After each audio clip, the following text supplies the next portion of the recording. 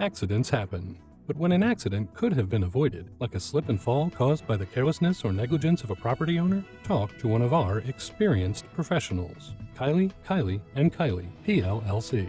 We fight for your rights.